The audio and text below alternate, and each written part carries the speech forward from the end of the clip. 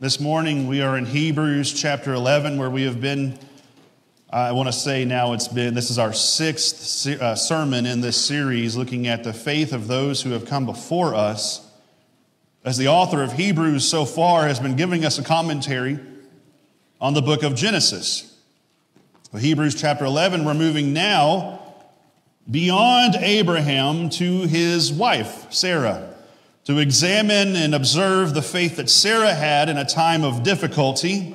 So we are looking at, I, I, would, I would think would be considered a matriarch of our faith. As we have been looking at patriarchs of our faith, we now move on to look at the wife of Abraham and Sarah to find the transformation that happens within her faith upon the word of God and the faithfulness of God in his promises. So scripture is going to reveal to us this morning that all things are possible with God.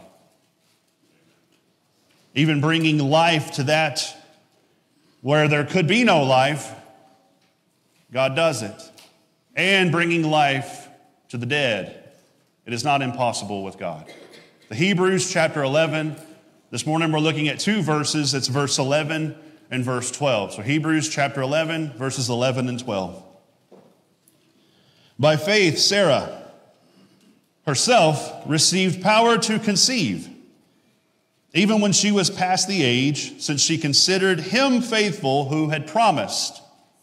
Therefore, from one man, and him as good as dead, were born descendants as many as the stars of heaven and as many as the innumerable grains of sand by the seashore. Upon hearing the word of God, let us respond now in prayer. So let us pray. Heavenly Father, I pray in this moment that would, we would be humbled by the fact that we have your word in our midst. Your very word, Lord, that you breathed out, fully inspired by your Spirit, and given to man, that it would transcend time to meet us where we are today. That even here in this lesson that is given to the early church, would be a lesson that is impactful for us, Lord, as we learn of your servants who have gone ahead of us in the example of their faith, Lord, I pray that even as you did within their faith, that you would reward those today who are found faithful. That you would bring blessing upon us in this moment through your word, that we would be encouraged, and Lord, that we would be inspired to live our lives in such a way that is pleasing to you that we would give up offering to you in our worship, that we would give our lives to you in worship as well. And I pray that you would move me aside and allow your spirit to be our teacher today. That this message that you have placed upon my heart would be given by your spirit and move throughout each and every believer that is in this place and those, Lord, who do not yet believe. Bring transformation bring revival, bring new life, and bring conviction in this moment as you have prepared our hearts to join together in this moment. In the name of Jesus Christ, amen. So we're now moving on into a portion of Hebrews 11. We've talked about Abel, we've talked about Enoch, we've talked about Noah, and we've talked about Abraham, and now we're moving on to the first woman that is mentioned in Hebrews chapter 11, but not the only woman that is mentioned. And we, we consider Abraham, Isaac, and Jacob to be the patriarchs of our faith, but we often forget, and as we should not forget, that they had mothers. In that of Sarah, in that of Rebecca. they had mothers who were prominent figures in the faith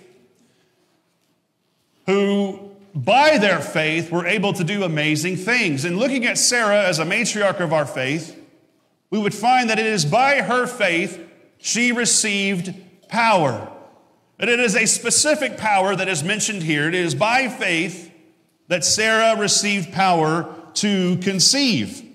And as the author of Hebrews is saying in a very polite way, is that she was beyond the age of being able to have a child. Now, for this understanding, we would have to step back and go in to the book of Genesis. One of the first things that I find, and we're stepping back to Genesis, we're going to go to Genesis chapter 12. And so if you want to head back to Genesis chapter 12, we're going to kind of go through those first few chapters within Genesis 12 all the way through 17 and beyond to 18. But when I read this verse, and maybe this is my own human fault, but when I read this verse and I read a line that says, By faith, Sarah received power to conceive, for some reason, the very first thing that comes to my human brain is the fact that Sarah laughed. Now, maybe that doesn't mean much, but in my mind, it means a lot. The fact that Sarah laughed when she was told she was going to have a child. And maybe the first thing, the first inclination on my side is to find fault in someone, which I hope that is not the case. I don't think that you would want a pastor who would find fault in the things that you do, but maybe that is a good thing for the pastor to have discernment to know and then guide you down the path that is led by Scripture. But I would say it's more of that side of humanity where we want to look at someone, even in a time of being uh, commended by God and find fault in them. And that, unfortunately, was one of the first things I, but Sarah laughed. Now, for the context of this, let's go back. So, Genesis chapter 12, we read of a call that is placed by God on Abram, whose name will be changed to Abraham. But not only was there a call on Abraham, there was also a call to his wife, and at that time her name was Sarai, and her name is changed to Sarah later on. The call given to Abraham in Genesis 12 is that he would leave his home. And he gathered his things and he left. But we don't forget the fact, and we don't gloss over the fact, that Sarah went with him. Now, if I were to go and she does not want me to use her as illustrations in her sermons, but since she's in here, I feel like I can. If I were to go to Aaron and say, we just got to get up and go, we got to pack our stuff, take our kids, and leave, and then she would ask, where are we going? And I would say, I don't know. I don't know where we're going. But God's going to show me where we're going. I, may, I would hope, I would hope that her initial reaction is, let's go. But that's not going to be, I know that's not going to be the initial reaction. And that, that, uh, that's okay. That's okay. Because it's possible, maybe that wasn't Sarah's initial reaction either. But in order for her to step out in faith with her husband, who was stepping out in faith, we find that faith had to be there. So not only would Sarah have faith in her husband, but Sarah would have faith in the God who is directing them. So for her to step out shows a lot of faith in that moment. They take their belongings, they take Lot with them, and they are going to a place that Abraham has no idea where they're going, but God will show them. So they get up and they leave, and we automatically are seeing here the faith of Abraham, but not only Abraham, but the faith of Sarah to step out trusting the word of God. And then we move on to Genesis chapter 15. So let's skip ahead to Genesis chapter 15 in this commentary the book of Genesis. We find Abraham is, is worried because he does not have an offspring. He does not have an heir of his own household. And so in his mind and in his heart, he is troubled. And he has a dream. And it is there in that dream that God is speaking to him. Abraham is told to get up and get out of his tent, to step out into the night air.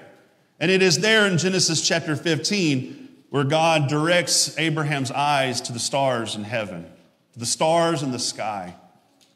And it's there that he, he reaffirms this promise that Abraham will have a descendant, that, that will have an innumerable amount of descendants. You look up at the stars, and Abraham, guess what? Your descendants will outnumber the stars however many millions of them that there were, or there, that there still are, and then the descendants of Abraham. And you know, I don't, I don't have anybody of my household. And God reaffirms the promise, saying, No, this will be your offspring. And it would be Sarah who would have a child. And this seems rather impossible because, in a very polite way, we say and we know Sarah was wise in her years. And at the time that this was going on, she was an elderly woman. beyond the point of what would be considered, and I'm fumbling over the words, uh, menopause. But that we're not going to step further into that discussion. Then Genesis chapter 16. We find Sarah and Abraham are trying to rush the process. They're trying to put their plans before the plans of God, and we're like, okay, yeah, we'll, we'll trust that God is going to keep his word, but we're not seeing it happening in our time, and we're not getting any younger. So Sarah gives her servant over to Abraham that they would have a child, and this would be the child who is the heir to Abraham, and then they would be the ones ushering in the fulfillment of the promise of God. But that did not go well. And I can speak from personal experience that when you try to put your plans before the plans of God, it will never go well. I mean, we often say patience is a virtue, right? Well, no, a virtue, okay, something you want to seek after, but actually, patience is a fruit of the Spirit. Something that is to be cultivated within you by the Spirit of God within your heart. And they, they, they were not patient. Not patient whatsoever. We're like, okay, we don't see God's hand moving at this time, so we're going to make it happen on our own terms. And we get to Genesis chapter 17. And then Genesis chapter 17, this is where God brings about the symbol of a covenant through circumcision and a promise. He gives a promise of the birth to Abraham and Sarah that they would have a son. And in that moment, God even says, You will give him the name Isaac. So not only is he saying, You're going to have a son, but I'm already going to give you his name. So that when your son is born, and not if your son is born, but when your son is born, you can call him by name. And that name is Isaac. But she laughs at God in Genesis chapter 18. So, stepping forward in Genesis chapter 18, we have a theophany of God. This means God has made himself present in the form that people can see. One of the greatest theophanies of God is Jesus Christ. God come down to earth to be as one of us. And here in Genesis chapter 18, we find a theophany of God in three men standing outside the tent of Abraham and Sarah. Abraham is scurrying around to try to do whatever it is that he could do to make them at home, to make God at home. And he's given a task of things to do, and he goes about doing these tasks. And we read in Genesis chapter 18, verses 10 through 15. They're outside the tent. Abraham is scurrying around trying to find the things that he is instructed to do. Sarah stays in the tent as God declares in that moment that this time next year, Sarah will give birth to a son. That Sarah will give birth to Isaac. And then from within the tent, Sarah laughs to herself. And it possibly means that she didn't laugh out loud. And it could have been that she gave a little scoff or something on the in, inwardness of herself. But it says here, Genesis 18, that Sarah laughed to herself, saying, After I am worn out and my Lord is old, shall I have pleasure? And then God, on the outside of the tent, speaking to Abraham, questions Abraham, saying, Why does Sarah laugh?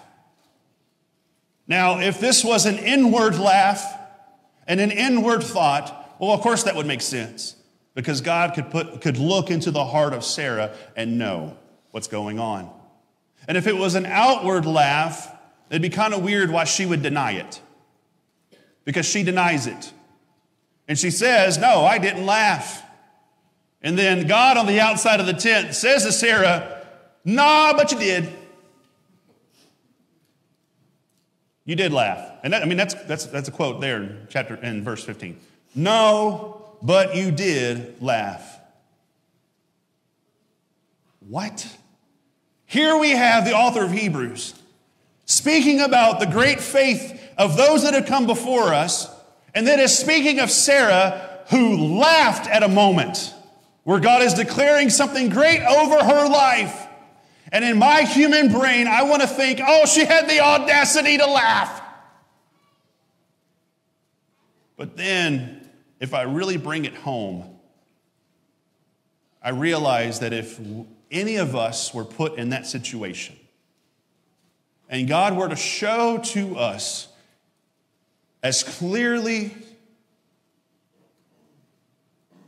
as clearly as we could see the plan that He has for us 5, 10, 20, 30, 50 years from now, you know what we would probably do?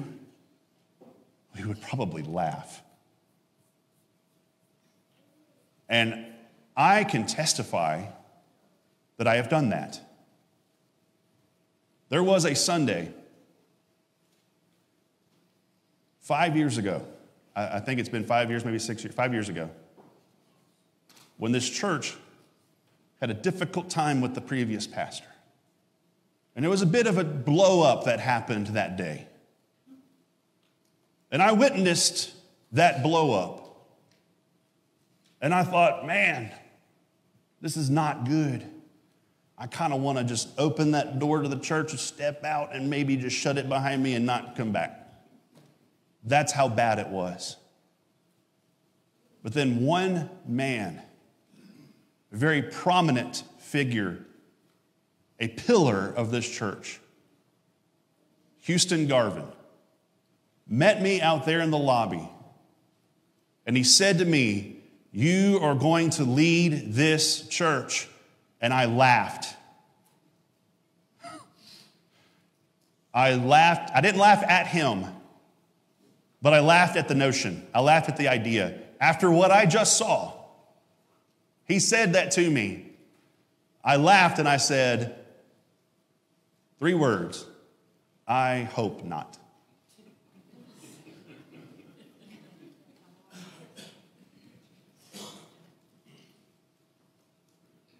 Clear as day, God used that great man, Houston Garvin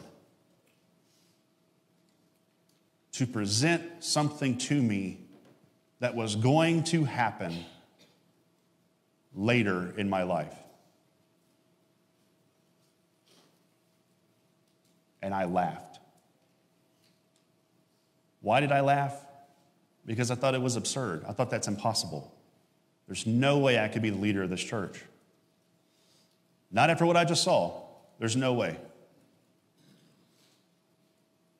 But God had other plans. And then I thought, you know what? No, I'm going to put my plans ahead of God's and I'm going to give this to somebody else. So I called all my pastor friends. I said, There's a church that needs a pastor. I need your help to find a pastor for this church because they're, they're calling me up to do it. And I got, No, no, no, no, no, no, and then I call my brother, who's a pastor and trains pastors. He said, Tip, this is your yes. Stop with the no. This is your call. Take it. And I said, No.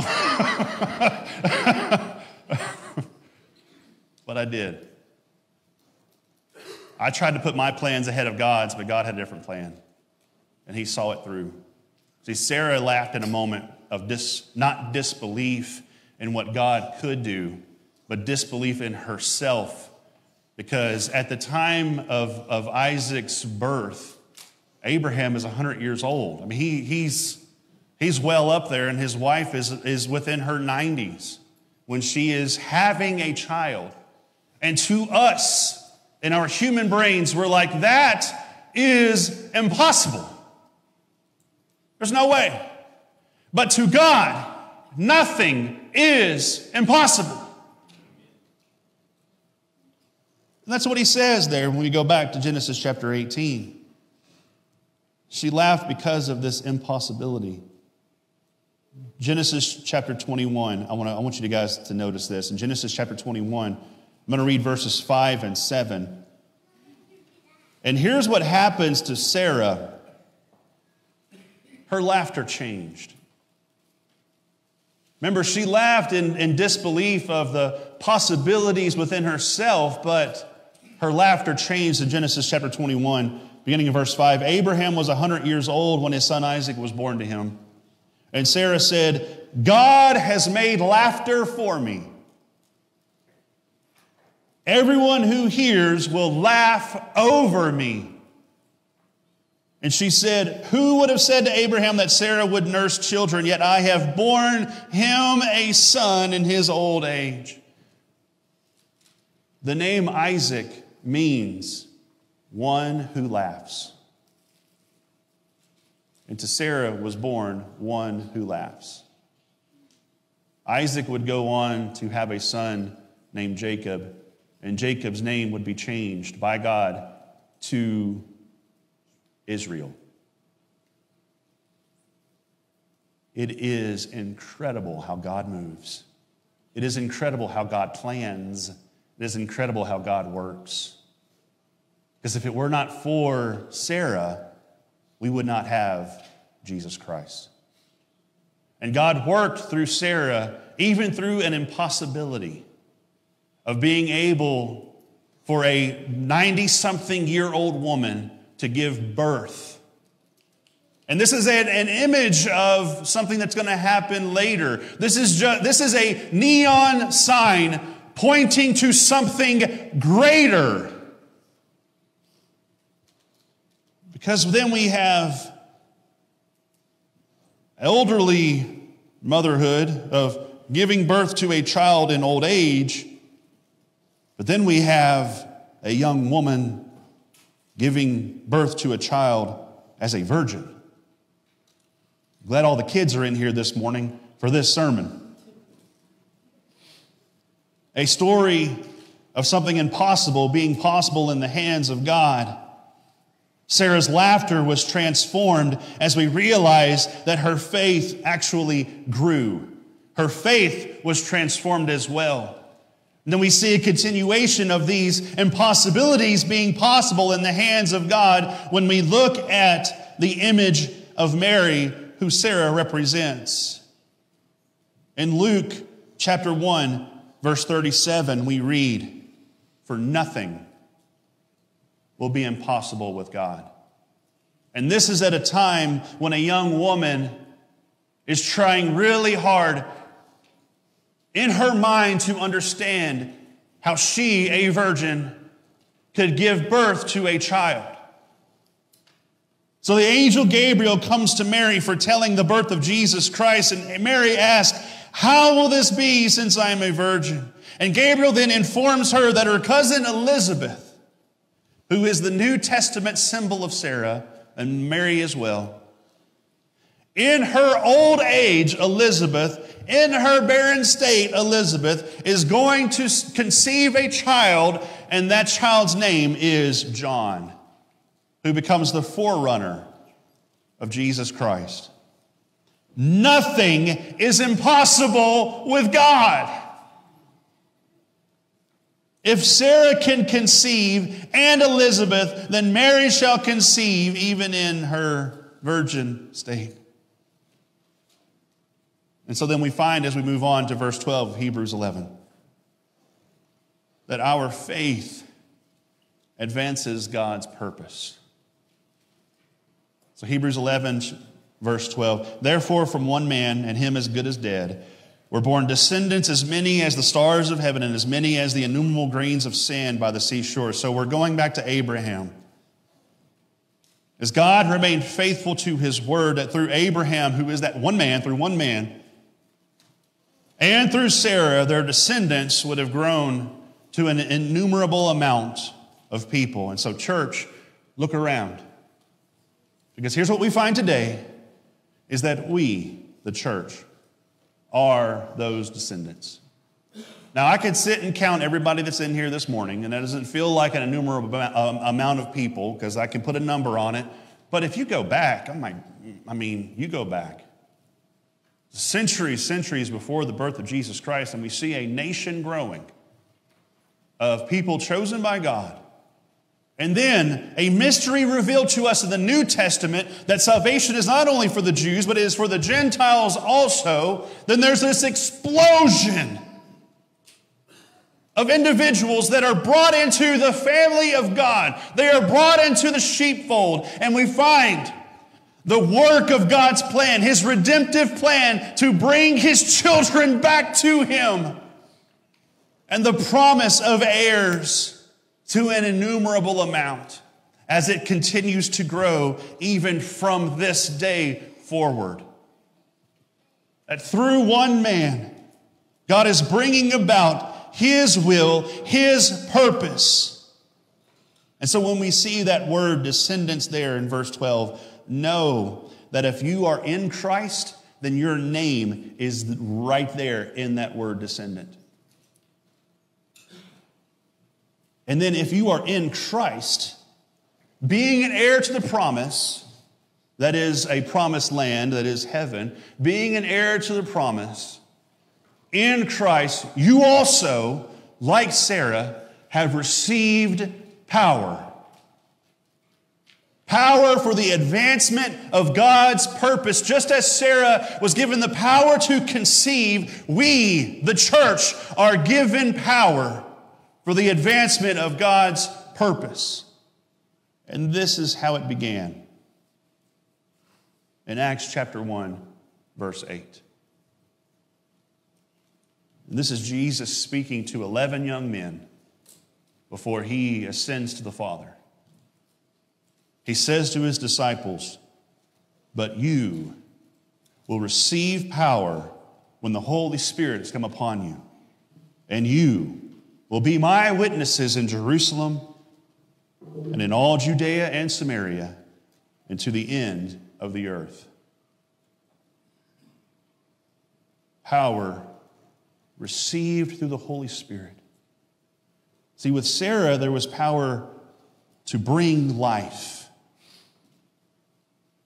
And in the disciples of Jesus Christ, there is power of new life.